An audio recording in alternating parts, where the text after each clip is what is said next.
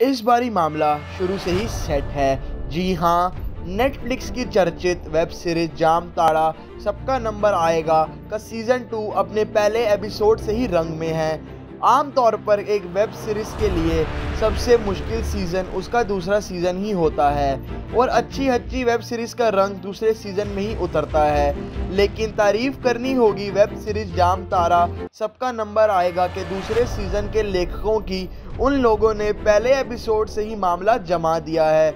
इस बार कहानी प्रधानमंत्री नरेंद्र मोदी की नोटबंदी की वह घोषणा, जिसने पूरे देश की करेंसी बदल दी।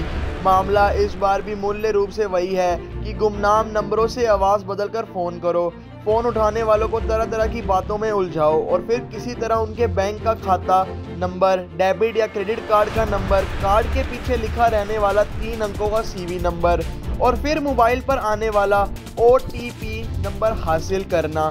इसके बाद ना फ़ोन करने वाले का पता चलता है, ना उसके फ़ोन नंबर का। झारखंड में स्थित जामतारा से निकला फिशिंग का यह माया जाल अब पूरे देश में फैल चुका है। बाकायदा इसकी कक्षाएँ खुल चुकी हैं। बेरोजगार युवक, युवती इसकी ट्रेनिंग ले रहे हैं, बल्कि होशियार भी हो रहे हैं। लेकिन जब तक पुराने खेल को लेकर लोग सतर्क होते हैं, यह चतुर चौकड़ी नया खेल खेलने लगती है।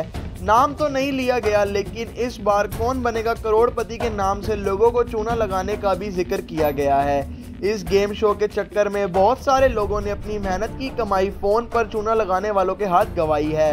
वेब सीरीज़ जाम तारा सबका नंबर आएगा का सीज़न दूसरा माहौल बनाने में समय नहीं खोता।